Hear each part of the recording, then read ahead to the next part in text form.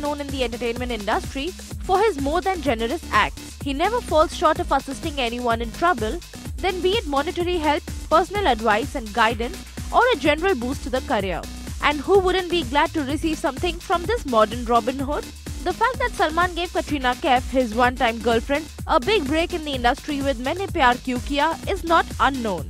And now, after the breakup, one expects that Salman learnt his lesson and would refrain from getting too close to his other co-stars. But Sallubhai favors generosity above anything else and so has once again taken it upon himself to establish the career of another office co-star, Zareen Khan. After making her not so famous debut in Veer, the lady has been facing a setback in her Bollywood dreams. Despite her small role in the movie, the actress managed to charm the Dabangg star, who is pulling all strings to ensure she lands a good role.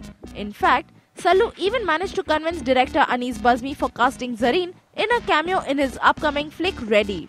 Salman somewhere feels personally responsible for Zareen's poor career and therefore is trying hard to get her into new projects. Well, seeing Salman's dedication to Zareen's career, the time doesn't seem far when she will be ready and steady to go.